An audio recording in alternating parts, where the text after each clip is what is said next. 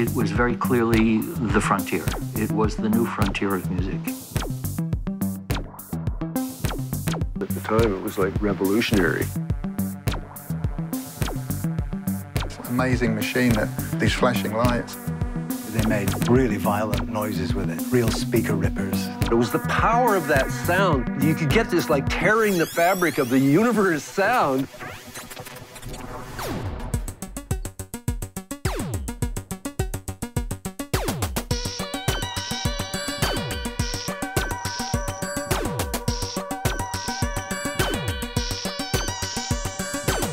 The modular synthesizer is the ultimate.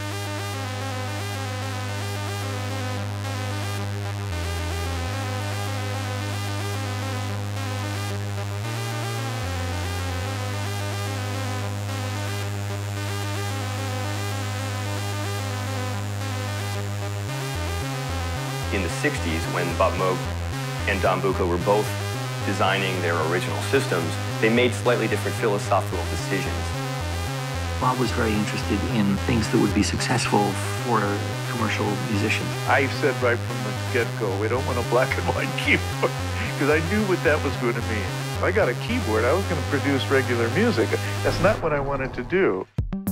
Pop groups had them, the Rolling Stones, the Beatles, the Monkees, the Osmonds, everybody, you know, had a modular synthesizer. I like the look of it and the, the dials and the switches, and it just made some phenomenal noises. Depeche Mode started as, as a guitar band. We, we realised we could make a more interesting sound with synthesizers than we could with guitars because our guitar playing was atrocious.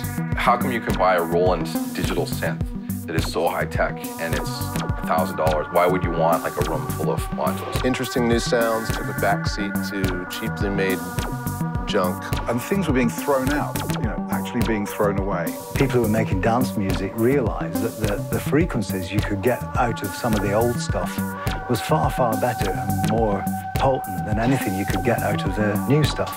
Maybe people have decided that digital equipment is less soulful than something that's more analog, more primitive, has more of a manual component to it. I'm continually amazed by the amount of new users that are uh, giving life to all these strange ideas from all kinds of different people. There's some real weirdos that design this stuff. Now there's like 45, 50 different modules uh, makers out there. It's brought a lot of that magic back into the synth world. Just an explosion of ideas. The revolution is here.